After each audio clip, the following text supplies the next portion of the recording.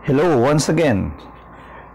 Today we will discuss the uh, problem solving for series parallel RL, RC, and RLC series circuits, series or parallel circuits. Uh, before I do that, again, if you want to to have the questions uh, here, uh, what we will discuss in this uh, uh, slide or module, just uh, click the description uh, link on this video and then you will be transferred to a Google Drive or a uh, Mapua Drive wherein the questions are there for the main and supplementary problems for you to practice. And please to remember that practice makes perfect. And before you go to uh, the calculation part I require you to uh, to uh, see the uh, or revisit the module or uh, the lesson on the fundamentals for series parallel RLRC and RLC. Okay, before we uh, solve the problem, we need to read the problem first again. Okay, this is the problem. A series RLC circuit has a resistance of R equal to 8.66, L is equal to 0.1062 Henry, and C is equal to 75.8 microfarads. Find the power factor of the circuit if the frequency is 60 hertz. Okay, so this is the uh, uh, solution of the problem. So for this, we have a series RLC. So this is the circuit. RL and C are in series and they have the values 8.66.1062 and 75.8 mic microfarad respectively, uh, which is ejected with a frequency of 60 hertz. So what you will do first is you need to convert in terms of the ohmic value, the L and C respectively. So let us recall some things from our last module or last lesson that impedance is equal to R plus the J parameter XL minus XC. Please take note, XL and XC here are um, magnitudes only. Okay, now for this, you have your XL, 2 pi FL, and then your XC is 1 over 2 pi FC. But for a frequency of 60, the omega is 377 radian per second, or omega, as we have discussed, is uh, 2 pi f. So just substitute all of the parameters here and all of the uh, uh, the uh, the converted uh, frequency domain parameters in terms of ohmic condition for reactive uh, inductance and reactive capacitance. So you have uh, inductive uh, inductive uh, or inductance and capacitance here. So Z is equal to 8.66 plus J 377 multiplied by 0.1062 and then you subtract I rather there's no J here. You already have the subtract here of 1 all over XC the capacitive reactance the inductive reactance. Okay for uh, for that.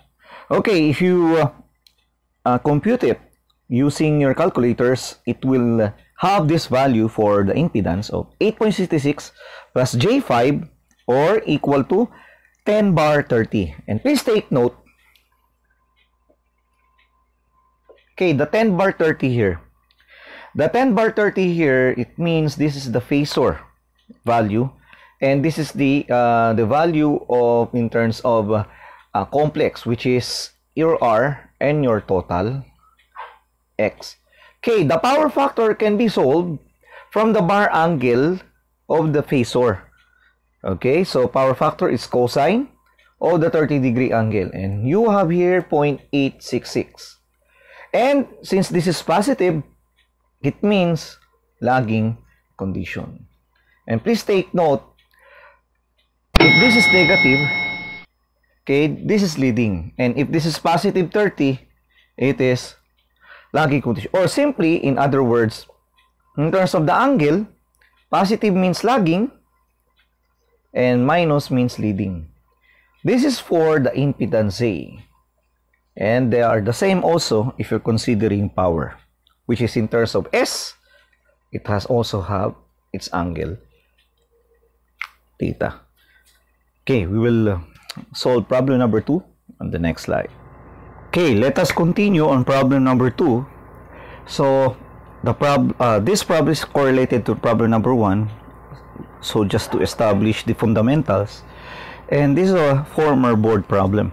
A circuit containing a resistance of 60 ohms 60 ohms L or inductance uh, inductance as 250 millihenry and capacitance 1.1 uh, microfarad are connected in series to a 220 volt 300 hertz supply what will be the impedance of this circuit so the answers must be in terms of complex uh, notation. So again the same thing.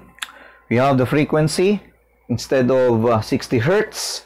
The frequency is uh, 300 hertz based on the problem. And then we must uh, we will make use of these equations again. And uh, instead of uh, 60 hertz we use 300 hertz for the problem here. Okay uh, one uh, another thing if the frequency is 50 you can have this assumption that your omega is approximately uh, 314 radian per second. So these are constant actually, considering different frequencies, uh, 50 hertz rather. Okay, just substitute all of the parameters that we have. So XL uh, R is 60 hertz, uh, 60 ohms rather. XL is 2 pi times 300 times 250 milli, you have 471.24 ohms. XC is 1 all over 2 pi 300 times 1.1 times the negative 6. The answer is 482.27. Substitute all of these values okay, in this equation for impedance. And then, by using your calculator, the answer is 60 minus J 11.05 ohms. So, very, very uh, simple problem for a board problem. Okay, let us continue our problem solving and we are in another interesting an interesting problem here which considers the solution in terms of a phasor diagram that we have discussed in the last lesson. Okay, this is the problem. A, uh, you have two sinusoidal voltages of having maximum values of 120 volt and 80 volt respectively but they differ in terms of the angle displacement of 40 degrees are induced at the same branch of the circuit. Now what is the maximum voltage in volts of the resultant? Okay the problem now needs the resultant in terms of maximum value. So we do not need to convert it to RMS. Okay, now this is the uh, uh, given, the maximum values. You have the first maximum value 120, the second value is 80 volts, and the angle between is uh, 40 degree. Okay, now, to understand this further, we need to draw now the phasor diagram in terms of the voltage relationship. Now, this is the phasor diagram. As you can see here, first you have your maximum value of 120 volt for EM1, and then you have the uh, uh, EM2 for 80 volt. And these two um, voltages separated by a 40 degree angle. Our main goal is to get the resultant of EM1 and EM2 respectively. So how you will do that? We will do a little bit of trigonometry here. But again, you can use the envelope diagram to solve this. If you have your EM here and you have a parallel, you know, you use a parallel line here, that's the same thing. So that is also your EM1 having a 120 volt magnitude. If this is your EM here at the bottom side and you have a parallel line again here, that is your EM2. Here, same thing. They are the same. And then get the resultant having this envelope here. Okay? And that is the resultant of ER, which is the requirement of the problem. Now, it's very obvious that we can use here a triangle wherein all of the parameters is already given.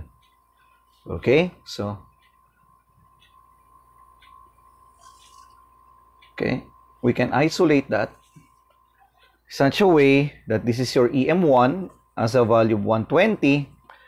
You have EM2 as a value of 80 volt. Okay, and this is your ER. Now, you can get that angle here in this triangle, okay, by having okay, a 180 degree half of the revolution here and this 40 degrees the same with this one. So to get that angle beta, 180 degree minus 40. And very obvious, this is this angle, which is 140 degree. Now, this is already a look spam to you because we can use the cosine law to get the value of ER. So again, by cosine law, you have ER squared, the opposite of the 140 degree uh, angle. EM1 squared, EM2 squared minus twice of EM1 and EM2 multiplied by cosine beta, which is cosine 140 degree. Now, substitute all of the values and you can now get the resultant voltage on the problem, which is equal to 188.44 volt. So this problem, uh, you thought it is impossible to, to solve, but with the aid of phasor diagrams, as I have mentioned on the basic fundamentals or module of this lesson, you can solve this kind of problems. Now we can go further to problem number four. Good day to all of you. So today we will uh, continue our discussion on uh, problem solving on series parallel RL, RC, and RLC circuits. So we are in problem number 4, so I need to read it first before solving. Problem number 4, a certain coil has an impedance of 20 ohms when injected by a 50 hertz uh, source AC signal and then another 30 hertz at 60 hertz signal. So what is the inductance of this coil? Now it means Okay, this is the solution. It means that our inductance on the coil is constant as well as the R. It means R and L is a coil wherein uh, we need to solve the value of L. Now, to solve this one, we need to go back to our main equation no, from the previous slide, but we make use of this as magnitude only okay we can get the magnitude only. So you have r squared plus x l squared. But xl is omega l.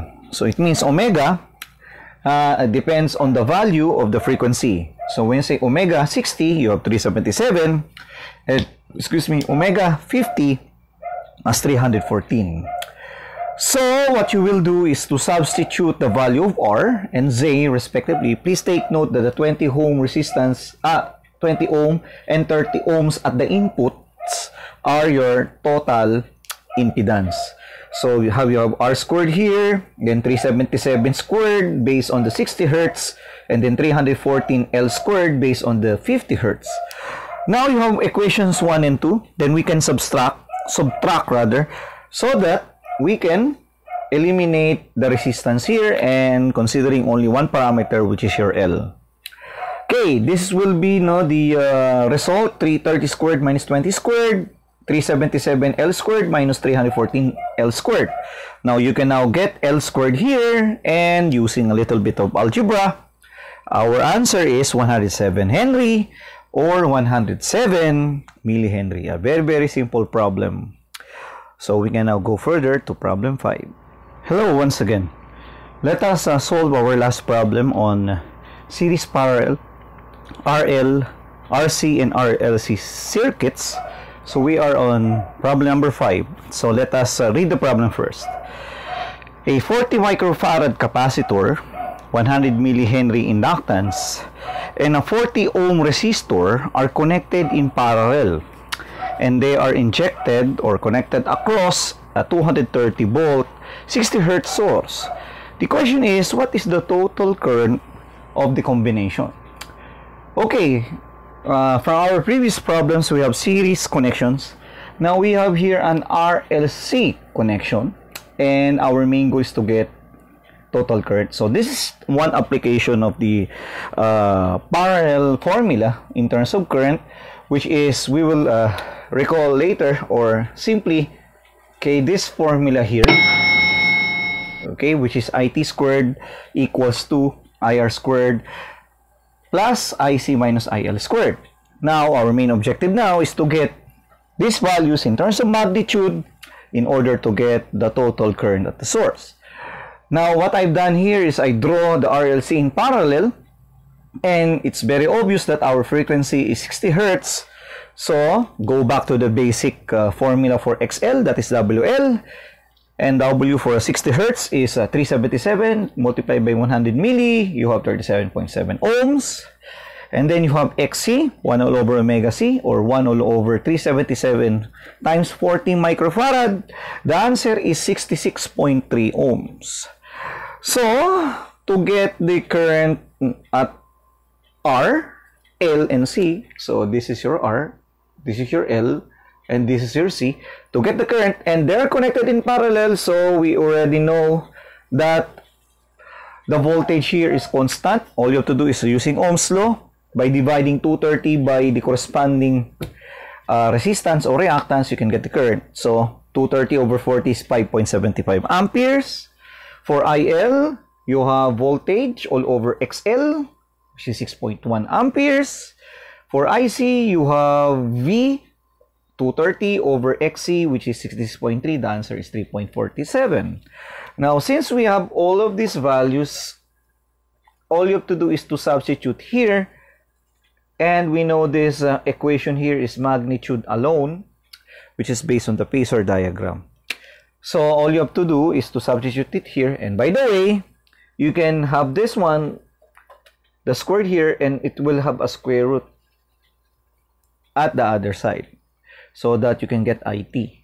So substitute IR, IC, and IL in this equation, and we can have this value of 6.322 amperes. So, to those uh, who are new, you can have these problems on the uh, uh, description page or description link and there are some links there on the description and those links can lead you to these problems and some supplementary problems. And we can and you can review the supplementary lectures on uh, on series parallel RL RC and RC and other videos that I already made. And if you have some questions please do so. You can comment me at the comment box section for your queries. Thank you very much and see you on our next lesson. Ciao